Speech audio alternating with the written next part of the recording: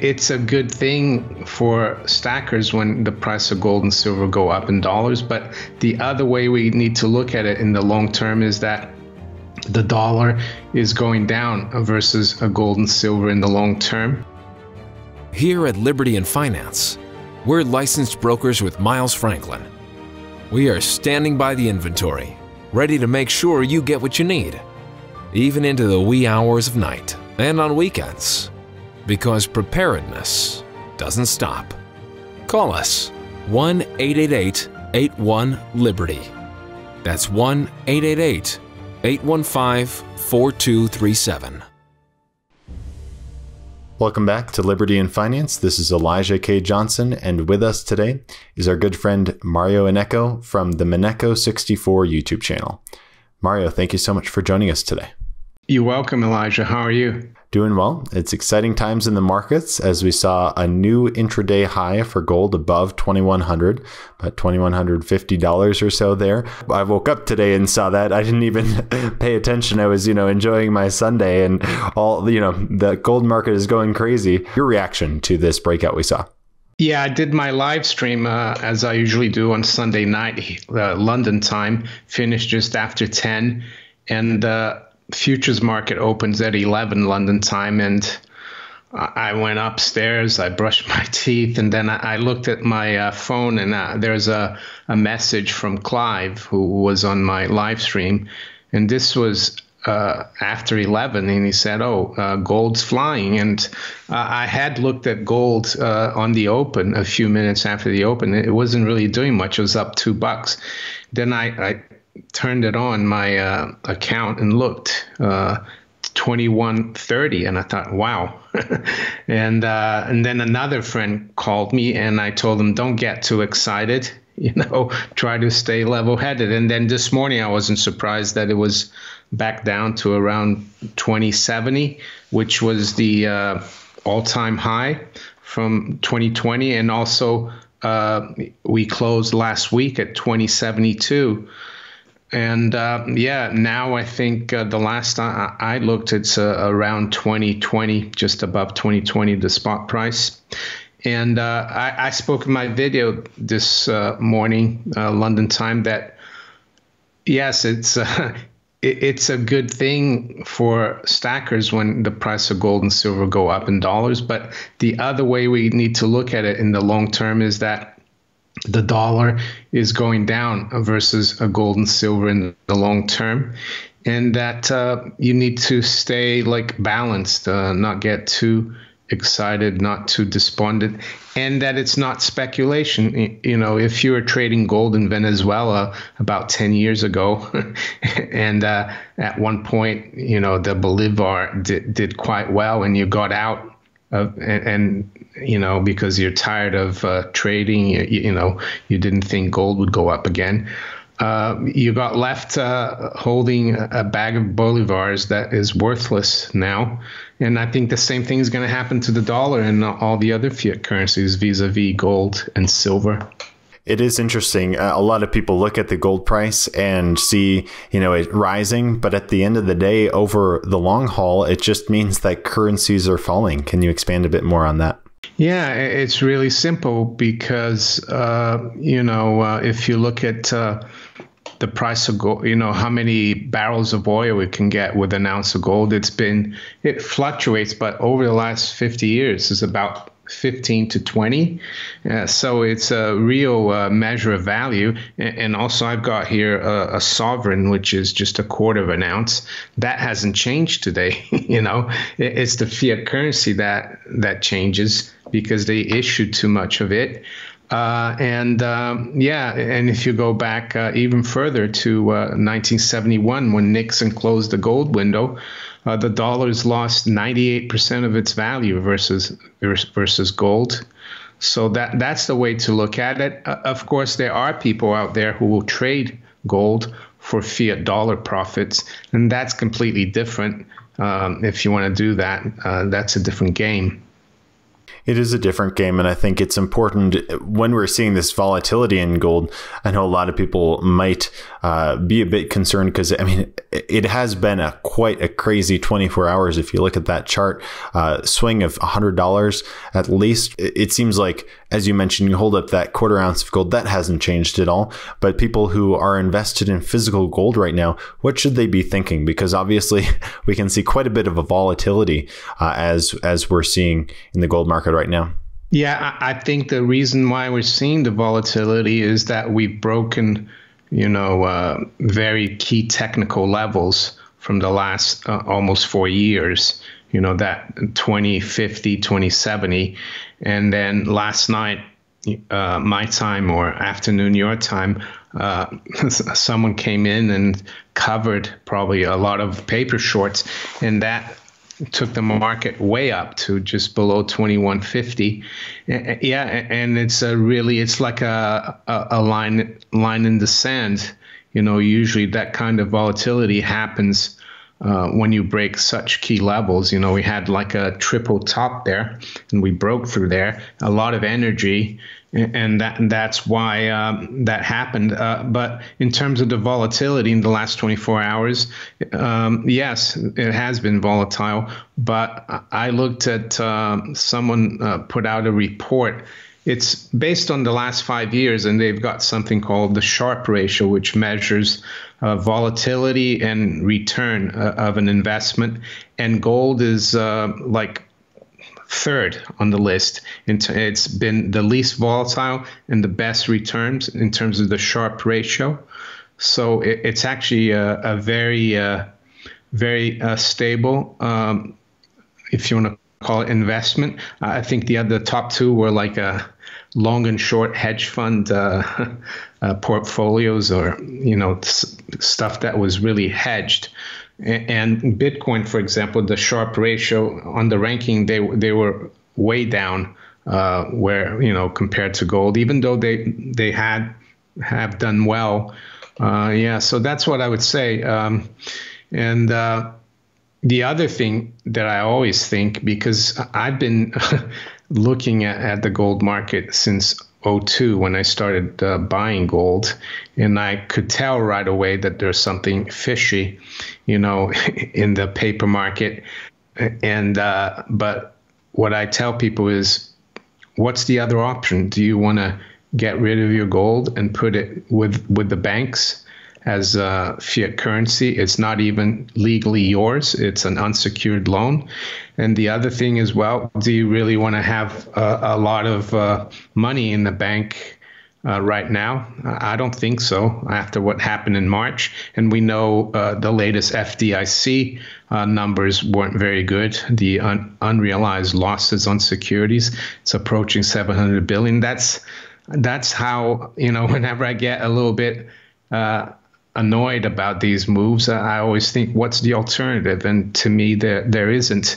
And the other one is, um, do you want to finance um, the current uh, administration in the U.S. or the current ad- administration here in the UK, where they let in 745,000 net, uh, you know, uh, illegal immigrants or migrants in one year, which is over, you know 1% of the population. So th- that's the other way to look at it. By keeping uh, fiat currency in the bank, you're financing all these things.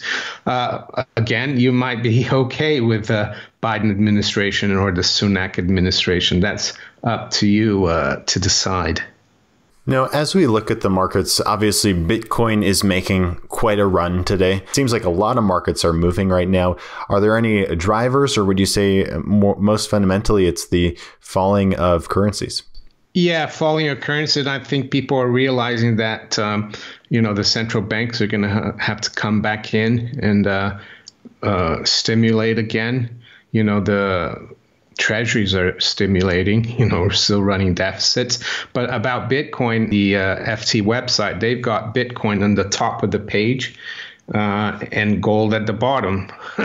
and uh, Bitcoin is 38% da- uh, below its all time high, and gold just re- reached an all time high. It just goes to show that uh, the uh, mainstream financial press they don't like gold, um, you know, and, I think they, they want to push people into Bitcoin uh, because it's digital. And if you, uh, if a lot of people wake up to gold and see how nice gold is, how you can hold value and how private it is, uh, or, or, silver for that matter, they they won't go into uh, d- digital. And, and with uh, this idea of bringing in CBDCs, you can't have the the pu- public going physical, can you? So I, I, think that's the other reason why the uh, Bloomberg's and uh, FTs of the world kind of uh, keep keep gold, uh, you know, on page 17 of the news. I, I noticed on Friday as well, gold closed at an all time high. And on the weekend, there's very, very little coverage of it. Which is interesting. I know I, I recently interviewed Tony Greer from uh, TG Macro, the Morning Navigator um, newsletter, and he was talking about how quiet you know the gold market is right now.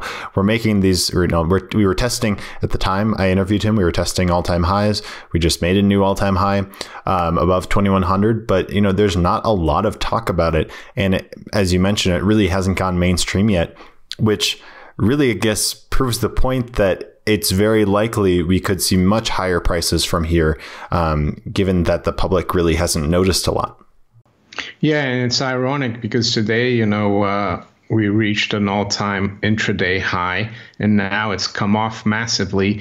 I, I bet you know sentiment, even within stackers, is really low. So yeah, like you said, yeah, there's uh, very little public interest. Uh, it seems like uh, in the last month or two, people have gone back into looking at Bitcoin. Uh, because there's a lot of sound money people that you know have gone into Bitcoin. Uh, I mean, I used to cover Bitcoin about six years ago, and I, I mean, it's better than fiat, but I still uh, think uh, gold is the way forward. It's like, uh, you know, I'm a golfer. Uh, if someone said you have a choice of playing. Uh, the old course at St Andrews, going there and playing, or you have a choice of playing St Andrews on a simulator. you know, I, would take the the bad weather in Scotland uh, and playing on the real course um, than uh, going to a indoor place where it's nice and warm, and, but playing it on a simulator. That's how I see, you know, Bitcoin. Um, you know, gold is real money, and Bitcoin doesn't have the thousand thousands of years track record really now, when it comes to central bank digital currency, it seems like this is something governments are continuing uh, to develop and push onto the public. What is the response that people should have? It seems like it's uh, it's new and exciting, right? So some people are looking at cryptocurrencies that way. But I would say central bank digital currency is exactly the opposite of everything that cryptocurrencies, you know, promise. Is it's going to be decentralized, it's going to be private, it's going to um, be limited in supply. And a central bank digital currency is are is none of that. Um, so, what should be people's response uh, when that is finally pushed on the public? For example, here in the U.S. Uh, or in uh, the U.K., where you are. Yeah, you're right. You know, the central bank digital currency, the, the name itself says central. it's not decentralized on the, you know, they might say, oh, it's on a blockchain, but I think they, that, that wouldn't be uh, true. Um, I, I, think, you know, they're very, uh, very determined to get a CBDC through mainly because the current system is dying, in my opinion, and they have to have a replacement. And I, I don't think it will work. Um, but uh, how people should react, uh, it, it's difficult. Um, may, because so many people are, you know, they think it's convenient, but if you're not of that uh, you know opinion, then the only way to try to uh, stay uh, outside of it. And unfortunately, I think we, if they bring it on and they force it onto the public, we'll have to use it. But having you know physical gold and silver outside the system, you know that that's a good thing because they can't control that. Um, and the other thing is. Um, yeah, having a lot of uh, fiat dollars or fiat pounds right now in the bank, that could be under threat if they bring in a CBDC because that they could say you can't use that anymore. We're going to give you CBDCs, uh, but we're going to give you only a tenth of what you had. So that's that's how I would uh, look at CBDCs, and uh, it, it, I was uh, reading again um, fiat money inflation in France the other day one of the chapters, and, and they said that uh, after the assignats, uh, which was their experiment in money printing after the during the revolution, uh, they they tried to bring in something new called the mandats, and that was supposed to be gold backed, but that didn't even work. So I, I think that's how the CBDC is going to be. They'll try to bring it in. It, it, might work for a while, but eventually it, it will uh, yeah, it, it won't be uh, any good, I don't think. And it seems like going into the end of the year here, if we get back to the gold market, it seems like um, next year, a lot of people are talking about the Fed pivoting. So fundamentals right now seem to be, you know, better than ever for the gold market. Your perspective on what we could see uh, next year for gold if we do, you know, continue to break out of these uh, levels as we as we have last night. Yeah, I mean the the higher the nominal price goes, you know, uh, the moves are going to get bigger. You know, when gold was at six hundred dollars, ten percent was sixty dollars. Now, ten percent is two hundred dollars, and that's why it feels so volatile. But yeah, we'll have to see what happens in the next week or two. If they're able to push it back below two thousand, they might. But it, it all looks pretty good, uh, unless, of course uh, the Fed uh, and the other central banks uh, don't pivot and they, they stay hawkish and they even tighten. But I, I don't think that's the plan. I mean, I'm seeing like publications like the FT, you know, saying, oh, they need, need to pivot. Central banks, you know, they're saying inflation is under control. So, yeah, um, it looks like the market is expecting some kind of cut uh, in late spring. So, and I think gold gold is already kind of forecast forecasting that, and that's one of the other reasons why you know it's been so strong of late. Before I let you go, uh, Mario, did you want to share with our viewers where they can find you online and any last thoughts you had uh, for our viewers who are definitely looking real close at the markets right now?